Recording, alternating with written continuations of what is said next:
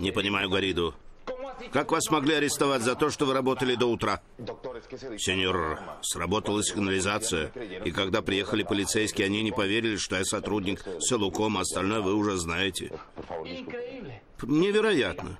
Что я еще могу сказать? Невероятно. Скажите, Гаридо, что происходит? Что конкретно вы делали здесь ночью? Сеньор, я проверял систему, чтобы не случилось так же, как вчера. Ясно. И это надо было делать ночью? Да, сеньор, потому что цифровые операции прерывать нельзя, к тому же я был на предприятии не один. Вот как? Нет, сеньор. Сеньор Эстебан и сеньорита Вальбуэна оставались здесь допоздна. Я не знаю, зачем. Им это нужно было. Черт возьми, мой брат не понимает. Не понимает. Что мы здесь делаем, Дон Эстебан? Я же сказал, мне надо забрать одну вещь, Глория. Но это же аэропорт. Вы мне не сказали, мы слишком далеко от офиса. Я так опоздаю. Что вы делаете? Лоренцо, как дела? Это Эстебан Марин. У нас с сеньоритой Вальбоен очень срочное дело, и, скорее всего, мы задержимся. Никаких проблем? Ясно. Да, хорошо, хорошо. Я ей передам. Спасибо, всего доброго. Сеньора Доля Пава просил не волноваться и продолжать веселиться. Что значит веселиться? А я вам еще не сказал? Глория, сегодня одна ваша мечта станет явью. Какая мечта? Хотите узнать? Следуйте за мной. Дон Эстебан, подождите. Я с вами? Снова я им нужен. Не могут оставить меня в покое. Алло. Эстебан, я могу узнать, какого черта вы с Глорией Вальбуэна делали в офисе ночью? Я просил тебя держаться от нее подальше. Привет, Сильвио, как дела? Все так и было, мы работали. Не считай меня идиотом, ладно? Хорошо. Она работала, я остался за компанию, ничего такого не было. Только сигнализация сработала, и приехала полиция. Это оплошность охраны, но ведь ничего не случилось. Или что-то украли. Только не говори, что похищен твой антиоксидантный аккумулятор. Это было бы трагедией. Это отчет для совета директоров. Я сам его подготовил. Похоже, все в порядке. Только скажи этому бездельнику, чтобы не присваивал чужую работу. Документ подготовлен сеньоритой Вальбуэна. Пока, Сильвия, у меня срочное дело. Всего доброго. Постой, Эстебан. Я слышу шум двигателя самолета. Ты где?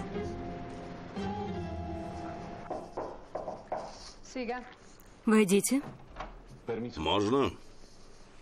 В какой-то момент я подумала, что мой союзник умный, зрелый человек. Вы меня очень разочаровали, Борис. Простите, я не понял, о чем это вы? Мы кое о чем договорились. Вы должны были заняться Глорией, а я Эстебаном. Вы не выполнили уговор? Я могу все объяснить. Я допустил ошибку в расчетах. Но, слава богу, я исправил все. Вот как? Да. И как же вы ее исправили? При помощи вот этого. Что это? Это видеозапись всего, что произошло здесь вчера. Возьми ключи, Вильсон. Здравствуйте. Что сказал ваш брат? Чтобы я не волновался, что все хорошо, пожелал счастливого пути. Счастливого пути, сеньор? Познакомьтесь с Фениксом, нашим семейным самолетом и нашим транспортом на сегодня. Эстебан сказал нашим транспортом на сегодня. Я всегда говорила, он был и остается экспертом по обольщению женщин. Похоронное бюро. Конечно, самолет произвел на меня впечатление, и, несмотря на свой страх, я решила лететь с ним, и я и представить не могла, какой катастрофой все закончится. Нет, я не могу, Дон Эстебан, я... Я не могу, потому что... А самолет очень красивый, можно потрогать? Конечно, можно потрогать и подняться на борт, и осмотреть его внутри, Глория. Здорово. Я впервые стою так близко от подобной машины. Я никогда не летала. Я правда могу подняться на борт? Да, только осторожно. И знаете, сегодня вы можете сделать не только это, но и стать пилотом, если захотите. Дон Эстебан, как вам такое в голову пришло? Я не сумею, я только раз водила, это был трактор. Вы не представляете, я его разбила, я погубила посадки валерьяны наших соседей. И знаете, папа меня тогда чуть не убил. Но трактор сильно отличается от самолета, и кто знает, возможно, в небе у вас получится лучше, чем на земле. Это невозможно. Может, стоит убедиться? Нет, Идем, идем, внутри гораздо интереснее, чем снаружи. нет, Дон Эстебан, нет, не стоит. Доверьтесь мне. Хорошо. Идемте, осторожно. Юбка, моя юбка.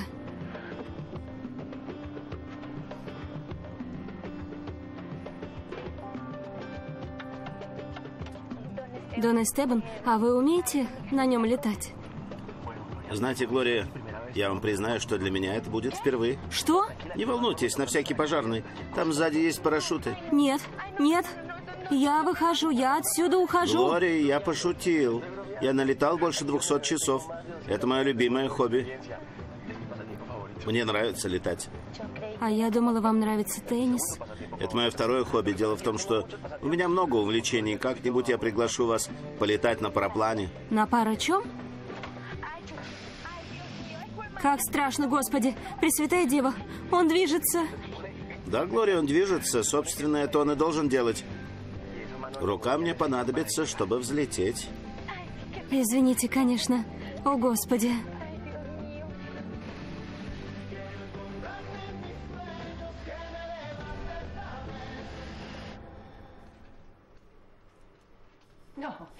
Нет, это доказывает только одно, что мы неудачники, особенно вы. Вы были здесь, в офисе. Я же вам сказал, это была ошибка в расчетах. Нет, это вас вовсе не оправдывает. Сейчас эта дура, ваша дорогая Глория, набирает высоту вместе со Стебаном. Надо подрезать им крылья. Лапки, в общем, все. Хорошо, только скажите, что вам пришло в голову. Мне ничего не пришло, я слишком зла. А я как раз придумал кое-что, чтобы отрезвить их обоих. И что же это, что? Что? Да, Что, хотите, чтобы я рассказал? Хорошо, но вы должны обещать, что больше не будете со мной так обращаться, оскорблять. да, да. Клянетесь? Ну, конечно. Клянетесь? Отлично. Я думаю, мы можем использовать эту кассету, чтобы добиться увольнения Глории. Что? Я с самого начала знала, что Борис Гариду был сумасшедшим неудачником. Но в каждом правиле есть исключение. В этот день он превзошел все мои ожидания. Борис Гарида был недалек, а Глория Вальбуэна очень сметлива. Но я все же поставила на него, ведь моим заклятым врагом была Глория Вальбуэна, и я должна была убрать ее. Я не изменю своего мнения, даже если меня будут считать сумасшедшим. Соль довольно глупа, что типично для женщин. Но у нее было преимущество. Хитрость, которая в купе с моим интеллектом представляла собой настоящую бомбу. Если Глория уйдет отсюда, она больше не встретится со Стебаном. И наша проблема исчезнет. Кроме того, Глория не будет ни в чем нуждаться. Когда мы поженимся, я дам ей все. Ей останется заниматься только домашними делами и своим мужем. И все. Повезло же ей. А Глорита знает о ваших планах? Это не обязательно. Все женщины любят, чтобы их содержали. Да, верно. Я на самом деле считаю ваш план прекрасным, особенно в том, что касается Глории. Думаю, ее увольнение и мне поможет. Что ж, отлично. Хорошо, Борис. Прекрасно. Большое спасибо, Соль, но сейчас главное сделать так, чтобы Дон Сильвио обо всем узнал. Это я возьму на себя.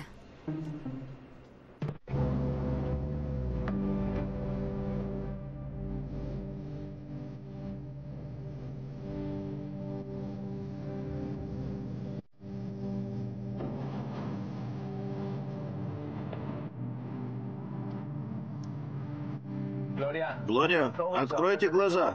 Так вы ничего не увидите. Нет, у меня сердце в пятки ушло. Доверьтесь мне.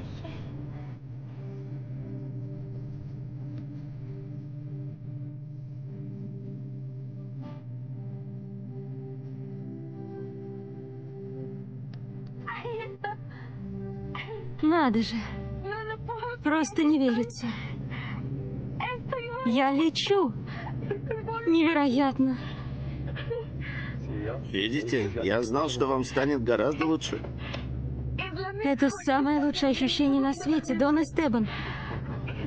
Даже кажется, что можно отдохнуть на этой тучке. Здесь так красиво. Так красиво. Посмотрите. Дома такие маленькие, что кажутся совсем игрушечными. Я рад, что вам понравилось, Глория.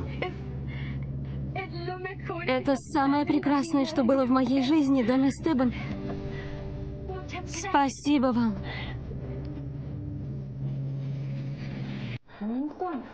Винстон, господи, что с тобой случилось? А что, ничего. Ничего, сеньора Гладис, ничего. Ты такой бледный, если тебе потребуется переливание крови, ты можешь рассчитывать на меня. И на меня я готова дать свою кровь, если нужно. Все не так страшно, успокойтесь, родные. Я и не думал, что этот парень так быстро расположит вас к себе. Мой птенчик, дело в том, что Винстон такой услужливый. Он нас охраняет и защищает, он все время при нас. А хорошее всегда надо ценить. Правда, детка? Я согласна. Что ж, в этом и заключается его работа. Да-да, генерал, совершенно прав вы. Винстон, не принижай себя. Мы помним все хорошее. Да, мы все помним. Помним все хорошее, но надо признать, что парень нуждается в отдыхе. Да, Вальбойна? Да, да, да. Правда? Да. Я еще позвоню, чтобы узнать, как ты и что тебе нужно. До свидания. Пошли. Идем. Сан-Антонио всегда слышит мои молитвы. Спасибо, до свидания, генерал. Винстон, я потом еще зайду и позабочусь о тебе, как нужно. Мой птенчик, подожди меня, я забыла сумку. Мой бычок, я еще вернусь и покажу упражнения, которые поставят тебя на ноги. Мой вин, вальбуа, нин, пингвин. О, Господи. Надо же. Бедняга Винстон. Он плохо выглядит, да? Да, бедняжка. Ну все, хватит о нем говорить. Этот парень скоро поправится, а сейчас лучше возьмите машину и поезжайте домой. А ты разве не едешь с нами?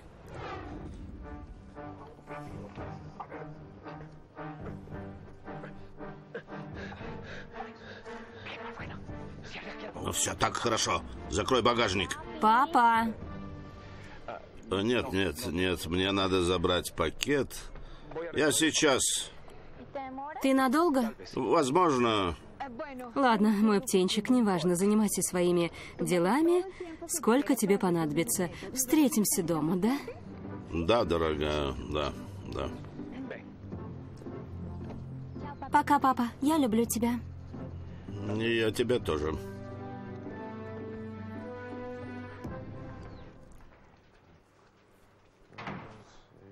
Не понимаю. Абсурд какой-то. Кто оставил эту гадость на моем столе? Так, посмотрим. На долгую память я люблю тебя, Мари Пас. Невероятно. Не могу поверить, что себе позволяет эта толстуха. Привет, Борис. Вам понравился мой подарок? Марипас, я был так занят Глорией и Эстебаном, что совсем забыл о своих проблемах с толстухой Марипас. Я подозревал, что она знала, кто накануне спровоцировал кризис системы на предприятии, и что она непременно использует это против меня. Если я не буду с ней милым, и мне пришлось притвориться влюбленным и играть свою роль в этом театре жизни. Подарок, да, конечно, я в восторге. Это очень приятно, так мило с вашей стороны. Это очаровательно, у вас отличный вкус. Кто это сделал? Я могу вам признаться, Мари Пас? Да. Дело в том, что ваш подарок мне так понравился, даже не знаю, он проник мне прямо в душу. Мое волнение как бы передалось ему. И раз, Он полетел по воздуху, как живой, и вдруг упал. Да, я поняла. Он нравится вам? Очень, Марипас, очень. Идите сюда. Этот медвежонок просто чудо, Марипас. Он такой милый. Но мне надо работать. Вы же знаете, время поджимает, а работы не в проворот. Борис, Да? можно вас спросить? Спрашивайте. Может, мы пообедаем вместе? Дело в том, что я принес обед с собой и собирался перекусить здесь. Я поэтому и спрашиваю, я тоже принесла обед с собой, и мне бы очень хотелось, чтобы мы пообедали втроем. Давайте поступим так. Я чуть позже сообщу, получится у меня или нет. Хорошо? Хорошо, я буду ждать с нетерпением. Пока. Пока, Марипас. Пока. Пока. Пока.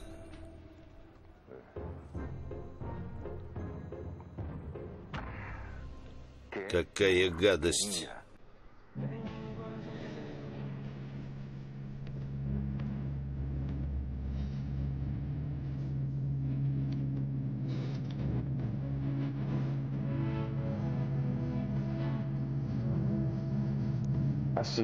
Я развелся с Глорией, но все равно буду считать, что на свете нет ничего лучше, чем сделать счастливым любимого человека. Полет.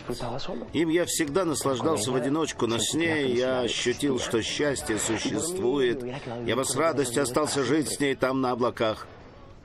Но Глория всегда старалась меня приземлить. Как, например, 31 декабря, когда она заставила меня упасть самым ужасным образом. Дон Эстебан, почему вы это делаете? Потому что я люблю летать. Мне это с детства нравится. Наверное, из-за того, что не чувствуешь земли под ногами. Мой брат Сильвио говорит, что это в моем характере. Я говорю не о полетах вообще, я спросила, почему вы полетели со мной? Я хотел, чтобы вы были счастливы, Глория. Вы сказали, что у вас есть мечта полетать, а я считаю, что мечты должны сбываться, особенно если есть такая возможность. Я мог помочь вам исполнить мечту, я ведь ничего не испортил. Верно? Я думаю, что я доставил вам удовольствие. Да, конечно. Ради меня никто еще ничего подобного не делал. Спасибо вам. Серьезно? А почему это вас удивляет? Да потому что такой замечательный человек, как вы, должен уже привыкнуть к тому, что все мечтают его осчастливить. Это не мой случай, уверяю вас. А я вас уверяю, что мог бы сделать вас счастливой.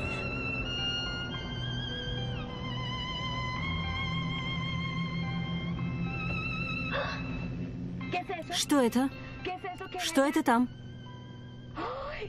А если это летающая тарелка, Дон Эстебан? Это другой самолет, Глория. Очень жаль. Было бы здорово пообщаться с неопознанным объектом. Так, кажется, говорят.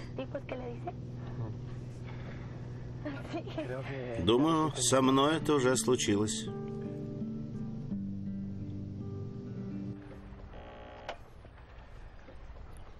Сара, я сожалею. Никто не хотел убивать твоего мужа. Сара, поверь. Тито? Армандо, с тобой все в порядке? Как видишь, в порядке. Да не совсем, представляешь? Вчера я проснулся дома, но не помню, как добрался. Ты серьезно? Конечно. Последнее, что я помню, это как я подрался с этим идиотом, твоим вестовым, но с этого момента картинка в моей голове стерлась, Тито. Ты был там, ты должен знать, что случилось. Да, да, конечно, конечно.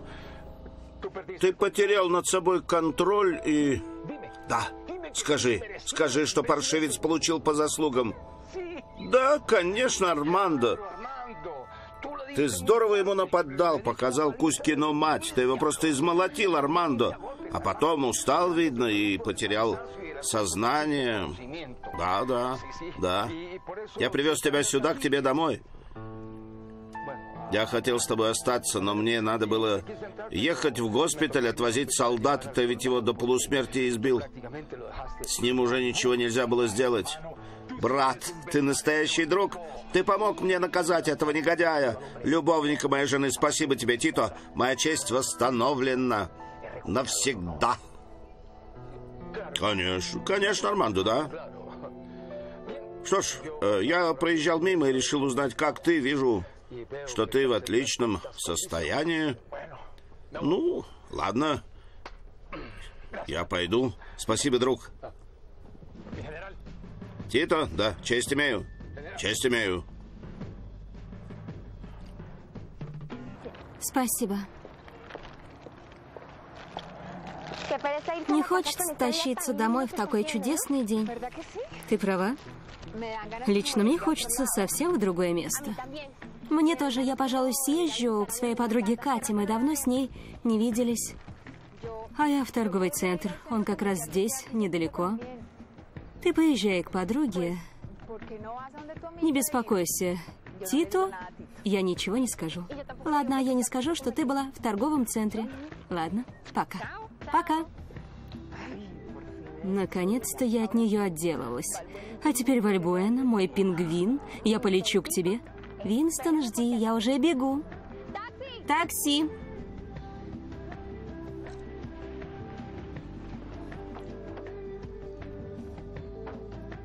Побыстрее, в госпиталь.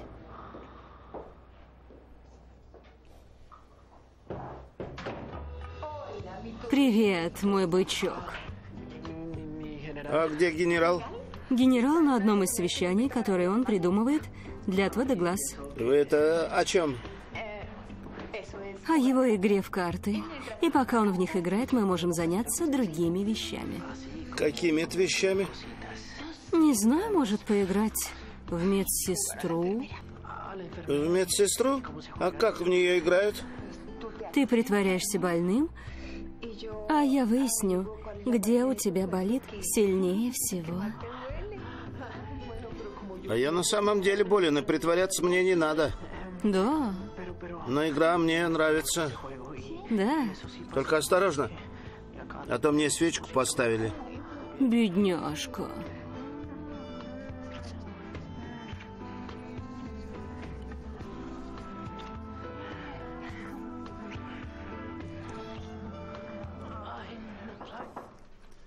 Войдите. Вам удобно, Дон Лоренцо? Сеньор, я тут изучаю динамику продаж новых аппаратов. Сделайте копию документа, который вы передали мне утром. Да, сеньор, с большим удовольствием. Я бы, конечно, Глорию попросил, но ее нет. Вы не знаете, где она? Мне позвонил Дон Эстебан и сказал, что ее не будет все утро. Как можно так поступать? Я подумал то же самое. Как можно так поступать? Это уж слишком. Но, как говорится, где командует капитан, матрос молчит. Я тут просто бессилен. Я говорю об Эстебане. И ты еще не все знаешь. Держать под контролем такую машину, наверное, сложно, да? Вы хотели бы попробовать? Надеюсь, вы это не всерьез говорите. Очень даже всерьез. Дайте мне руку. А Дайте дальше? руку. Держите штурвал. Так? Так. Отлично, отлично, уверенно и спокойно. Нет, Дон Эстебан, мы разобьемся. Не волнуйтесь, не надо, держите штурвал крепко. Думаю, с меня уже хватит. Глория, вы управляете самолетом. Хватит, прошу вас. Хорошо, хорошо. Все, Ну как? невероятно. Винстон мне не поверит. Нам надо чаще это делать. То есть... Я... Не это хотела сказать. Глория, а я рад вашему предложению. Я обычно летаю по воскресеньям и был бы счастлив, если бы вы летали со мной. Господи, я ничего не трогала, клянусь. Глория, успокойтесь. Что происходит, Дон Эстебан? У нас техническая неисправность, Глория. Держитесь. О, нет. Это правда, что перед смертью вся жизнь проходит перед глазами. И для меня это было ужасно, потому что она просто промелькнула. Мне было 25 лет, и в этот момент я поняла, что ничего не сделала, и что назад пути нет. И этот удар был для меня пострашнее того, что позже пережил наш самолет. Дон Эстебан, эта штука больше не крутится. Это плохо? Диспетчерская, у нас технические неполадки. Нужно место для экстренной посадки. Феникс-1, говорит диспетчер. Видим вас на мониторе. Ближайшая площадка 30 градусов на юго-восток от горы. Конец связи. Мы не дотянем слишком далеко. Дайте другую площадку. Феникс-1, единственная возможность совершить посадку. Диспетчерская, ответьте. Диспетчерская, это Феникс-1. Ответьте, ответьте. Господи, боженька, помоги нам, пожалуйста. Боженька, помоги нам. Боже, помоги. Глория, спокойно, я поищу место для экстренной посадки. Где Дон Эстебан? Тут одни деревья. Дон Эстебан, осторожно. Отец наш небесный, Господи, прости меня. Я не хочу умирать. Спокойно, Глория, спокойно. Отче наш. Чуть пониже, сестра. Еще ниже. В груди? Да, в груди, только ниже.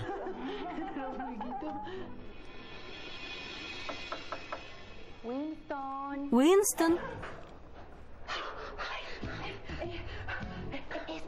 Это Виктория. Что делать? Где мне спрятаться? Винстон? Спрячься быстро. Да, дай подумать, где. Да прячься. Привет.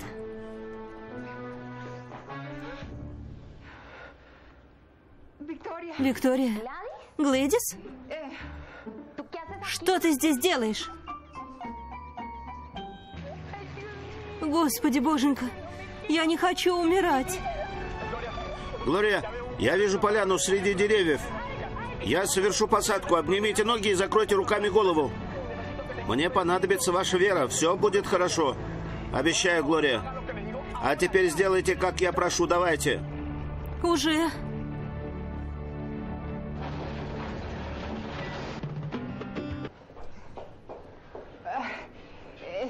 Понимаешь, Винстон стал для меня как сын, и материнский инстинкт заставляет меня заботиться о нем, хотя твой папа мне и запрещает. И ты надеешься, что я поверю в твои росказни, Глэдис? Мне 18, а не 8. И я уже понимаю, что к чему. Что к чему? Все так, как я тебе объяснила. А мне кажется, что ты врешь. Посмотри, какая ты растрепанная. Нет, Вики, просто Винстон почувствовал себя плохо и попросил меня принести лекарство. Я за ним пошла и упала, поэтому ты застала меня в таком состоянии, но я сейчас приведу себя в порядок. И причешись заодно. Да-да. Конечно.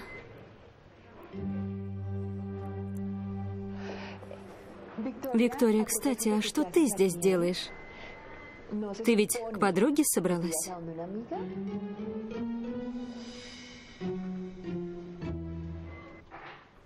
Откуда у тебя эта кассета, Соль? Охранники передали. Они уже налюбовались тем, как проводят время твои работники, как Глория Вальбуэна. Уму непостижимое. Стебан затащил Глорию в архив, чтобы заняться с ней неизвестно чем. Нет, Сильвио, назовем вещи своими именами. Это Глория затащила Эстебана в архив, чтобы заняться с ним известно чем. Уверен, что это по вине Эстебана ночью сработала сигнализация. Глория свела его с ума. Он распустился. Поэтому, Сильвио, надо что-то делать. На этот раз нужно действовать прежде, чем будет уже поздно. Да, я вынужден положить этому конец. Если Эстебан не может вести себя как взрослый рядом с Глорией, а Глория ему потакает, значит, Глории Вальбуэна придется уйти. Другого выхода нет. Лоренцо, найди Анхелу немедленно и скажи ей, чтобы нашла моего брата и Глорию Вальбуэна срочно. Да, сеньор. Семь минут, извините, сеньора.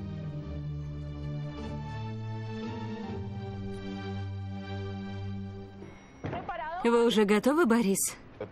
Готов э, к чему? Чтобы пообедать вместе, мы ведь договорились. Да, верно, Мари Пас. Дело в том, что у меня совсем времени нет. Неважно, мы пообедаем с такой скоростью, которая подходит вам. Как насчет 550 мегагерц? Видите, я уже научилась компьютерным анекдотам. Теперь нам будет легче общаться. Да, это здорово, Марипас, отлично. Но у меня и пяти минут на обед не осталось.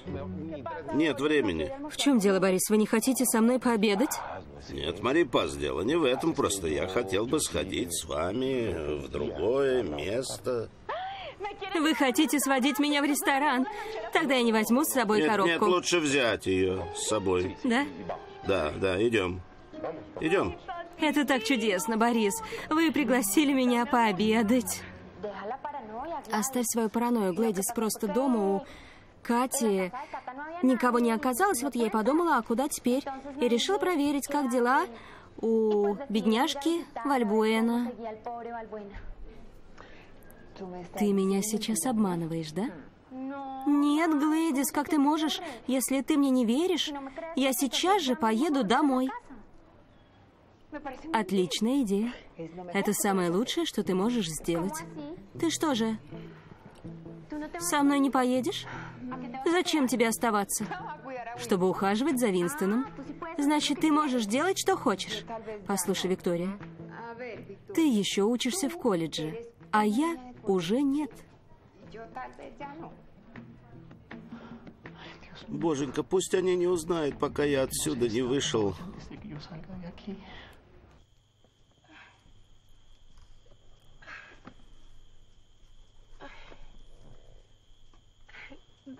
Дон Эстебан.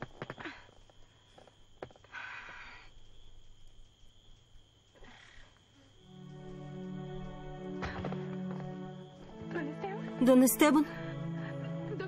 Сеньор Марин. Дон Эстебан. Дон Эстебан.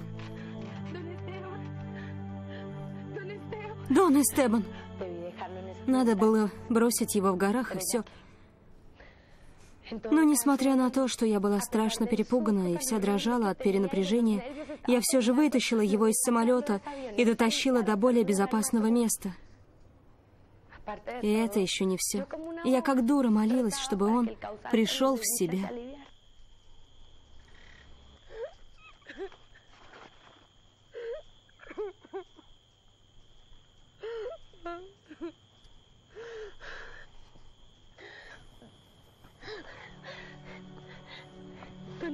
Дон Эстебан. Дон Эстебан. Дон Эстебан. Дон Эстебан. Дон Эстебан. Сеньор. Сеньор. Глория!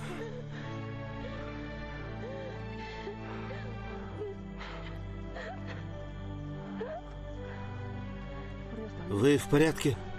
Вы не пострадали? Нет.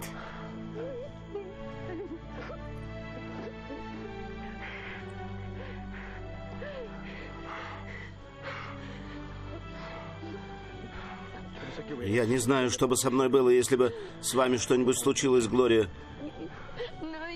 Не говорите так, это несчастный случай. Вы ни в чем не виноваты. Как вы себя сейчас чувствуете? У вас на лбу кровь. Вот здесь. Я ничего не чувствую, Глория, прошу вас, скажите. А с вами все в порядке? Вы уверены? Уверена. Где-нибудь болит? Нет. Вставайте.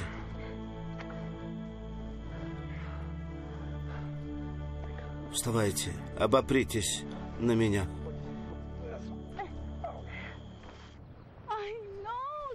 Что это, какое красивое место. Борис, тут чудесно. Правда, я думала, что мы в ресторан пойдем. Нет, зачем? Нет. Нет ничего лучше, чем пообедать в парке среди природы, которой можно любоваться и наслаждаться. Вы так изысканно говорите, Борис. И место очень красивое. Мы как будто у моря, не хватает только кокосов. Чудесно. Кокосов? Да, кокосов. Здесь очень красиво, Борис. Я вами восхищаюсь, Да, почему? потому что вы такой пунктуальный, методичный, умный. Мне хотелось ее задушить. Я бы оказал услугу человечеству. Мне бы медаль за это выдали, как минимум. Но сначала я должен был выяснить, что она обо мне знала. И для этого я должен был продолжать эту игру. Спасибо за похвалу, Марипас, но может нам лучше поесть и посидеть в тишине? Так будет лучше. Нет проблем, Борис, мы можем использовать язык взглядов. Ну, что скажете? Ешьте, ешьте, а то остынет. Я никогда не забуду наше первое свидание. Это так романтично. Да-да, вы ешьте, ешьте.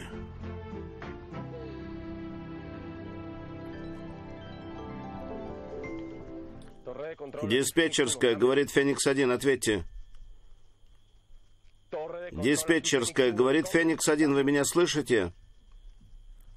Ответьте, диспетчерская, это Феникс-1, ответьте, ответьте. Не может быть. Чего не может быть? Чтобы рация тоже не работала, Глория. В этом самолете вообще было что-нибудь исправное? Не надо так. Феникс многие годы служил нам верой и правдой. Конечно, и поэтому мы упали. Не думаю, что ваши нападки на самолет справедливы. А чего бы вы хотели, чтобы я нападала на пилота? Не знаю, но вы говорили, что я не виноват, Глория. Простите, мне стыдно, что изменила свое мнение после того, как самолет разбился. Ну все, успокойтесь, пожалуйста. А как? Как я могу успокоиться? Если мы даже не знаем, где находимся. Пройдет много дней, прежде чем нас найдут, а кроме того, сотовое вашего производства, как всегда, не работает. Что будем делать, Дон Эстебан? Что мы будем делать? Во-первых, вы перестанете звать меня Доном Эстебаном. Хорошо? Мне кажется, что после того, как мы попали в аварию и остались живы, я как минимум заслуживаю, чтобы вы звали меня по имени. Эстебан Сито, что мы будем делать? Ждать, когда нас найдут, Глория. Да, Не думаю, что будет правильно блуждать в этом районе. прекрасно. А пока я займусь вот чем. Пойду наберу немного хворосту, ночь наверняка будет холодной. Если, конечно, вы не предпочтете согреваться другим способом, тогда мы сможем залезть в один спальный мешок и согревать друг друга теплом наших тел. Говорят, что этот способ еще более эффективен, если снять одежду. Что скажете? Лучше я пойду с вами собирать ветки. Глория, я не дам вам упасть. То же самое вы говорили перед тем, как мы упали в горах. Но ведь это же правда.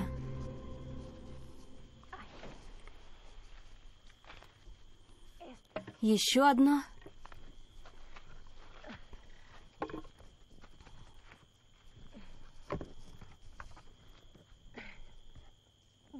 Ладно, думаю, этого достаточно. Дон Эстебан? Дон Эстебан? Эстебан! Господи. Эстебан! Эстебан! Вы меня напугали. Я здесь. Это вы меня напугали. Мы не должны разделяться, надо держаться вместе, иначе можно потеряться. Я был здесь, нашел ручей, из него можно воды набрать. Думаю, нам лучше вернуться. Не хочу, чтобы нас застала ночь, ведь мы не знаем дороги. Хорошо, но сначала наберем воды. Какой же упрямый.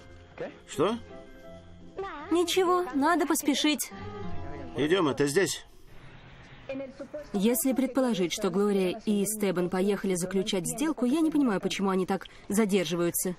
Они не приехали, не звонят и не отвечают на звонки. Что могло случиться? А ты не понимаешь?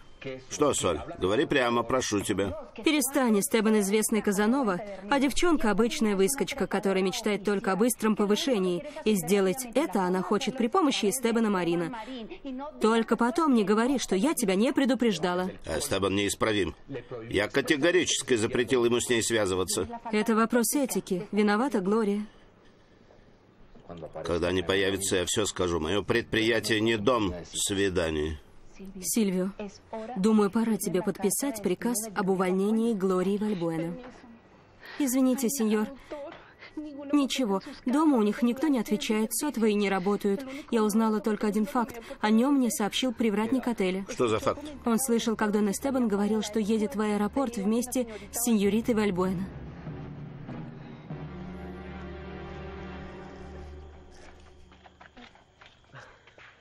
Глория, только не говорите, что боитесь. Вы же выросли в деревне. Именно поэтому я знаю, что когда ночь застает посреди леса, это плохо, Эстебан. Пожалуйста, идем, хотя бы раз в жизни. Послушайте меня. Глория, поймите, если я всегда буду вас слушать, вы избалуетесь. Чуть что не так, будете дуться на меня. Что ж, вы сами скоро убедитесь, что я была права. А может, лучше искупаемся? Нет, я шучу, Глория, мы уходим. Но хотя бы умыться я могу? Хорошо. Не хочу сказать ничего плохого, но вам тоже не мешало бы ополоснуться.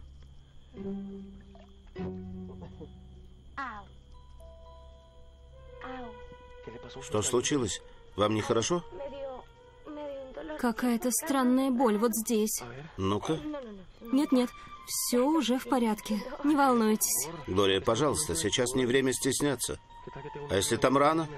Давайте я посмотрю. Нет. Глория, прошу вас. Ну ладно.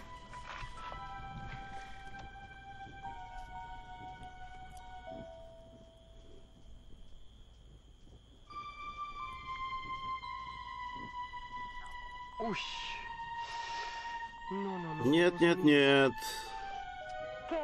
Что? Нет, ничего, не волнуйтесь, небольшой ушиб. Здесь синяк, но припухлости нет. А теперь дышите, дышите. Больно? Нет. А когда вот так трогаю? В чем дело? Мне не больно, просто щекотно. Ну что ж, извините.